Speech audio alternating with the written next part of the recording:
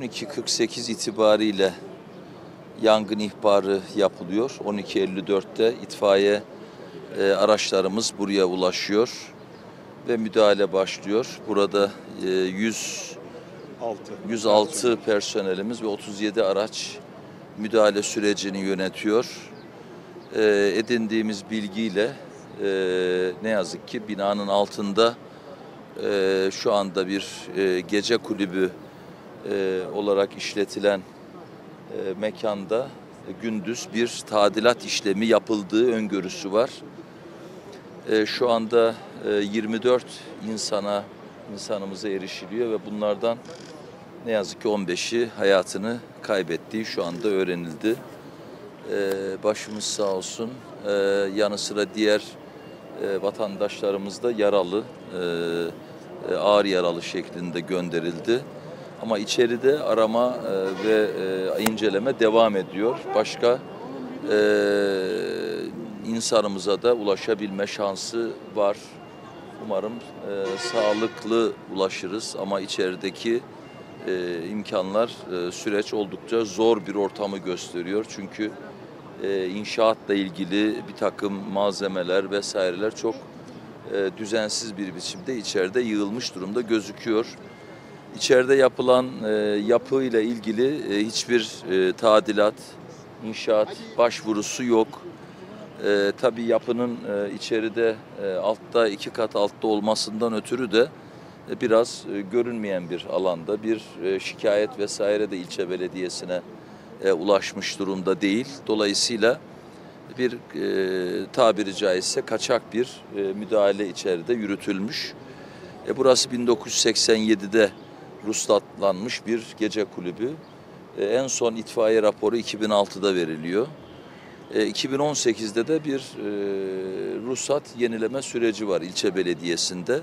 Ama bütün bunlar tabii teknik olarak, idari olarak incelenecek E, ve e, mutlaka e, savcılıkta gereken işleme süreci başlatmış durumda.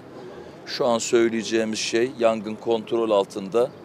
Yapının güvenliğiyle ilgili süreci arkadaşlarım inceletiyorlar. Şu anda teknik arkadaşlarımız buraya sevk edildi. E, Yapının statik güvenliğine herhangi bir zarar verilmiş midir, verilmemiş midir noktasında e, bakılacak ve ona göre e, gerekirse komşularımızla ilgili tahliye ya da güvende olacakları şekilde destek olacağız. Yapı da çünkü eski bir yapı. Artı olarak şunu söyleyeyim, yangında ilgili tabii şu anda hiçbir sorun yok. E, söndürüldü, kontrol altında. Soğutma işlemleri devam ediyor.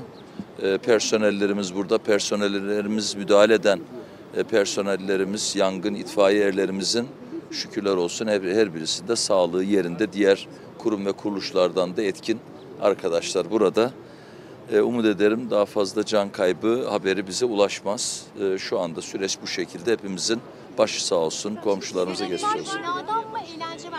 Tümden aşağıdalar. Yani tümden orada e, bu e, gece kulübü ya da eğlence merkezi adı her neyse e, orada çalışan işçi olduğu düşünülüyor ama bu kadar işçinin orada olması tabii e, bir şey e, soru işareti ama yapının e, büyüklüğüyle ilgili kulağınıza geldi mi öyle bir şey var mı? bir şeye henüz şu anda o konuda bir bilgi sahibi değilim. E, aldığımız bilgiler bu doğrultuda. E, dediğim gibi temennimiz daha fazla can kaybı haberi almamak.